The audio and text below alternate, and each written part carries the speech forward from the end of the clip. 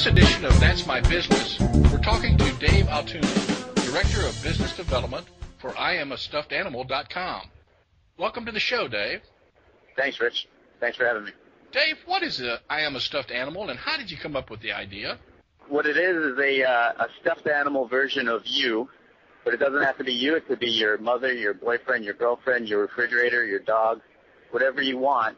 And basically how it works is you send in a picture, or up to three pictures of whatever you want turned into a stuffed animal, and we do that for you. And how did you come up with the idea? We built on a terrible idea that my buddy had. He had an idea of, of making stuffed animals of, uh, of sports coaches. We said nobody would want to buy that, uh, but it would be really cool to make stuffed animals of each other, and uh, and from there the idea was born. Now, I noticed that you sent out uh, lookalike buddies to some of the media, and they gave you some great press coverage. That was pretty clever. Yeah, well, the nice thing about our product is that it's it's easy to talk about. Uh, it's kind of a little bit flattering, so uh, so it works well in that in that sense. And so that was from the beginning. That was uh, immediately what our marketing strategy was, at least initially, was you know get it out to some people with a voice, and uh, and just take the initiative to make the buddy of them and hopefully they'll find it flattering enough to talk about it. How many buddy dolls have you made? Uh, we've actually made thousands of buddy dolls. We uh, we launched on a uh, ESPN podcast, which gave us a nice bump to, to begin, and then right after we launched in October, uh, Christmas season picked up, and we just were, you know, uh, inundated with orders for Christmas, and uh, it, it's it's been a roller coaster ever since.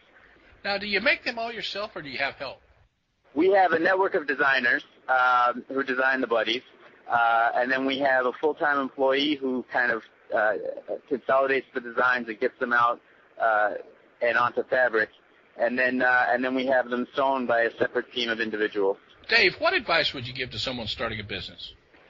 Well, I think the main piece of advice that I would give is to be persistent. Um, what you want to do is you want to test your idea uh, you want to give it a good shot to succeed. So, uh, you know, we were very diligent in trying to find a, a good way to launch the idea. We found the podcast and it got a lot of visitors to our site.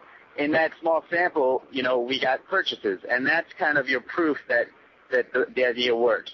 And then uh, once you're confident that it's a good idea and it's going to work, you just really got to uh, be persistent, get it out there, get it in front of as many people as you can, and just uh, and just keep moving forward.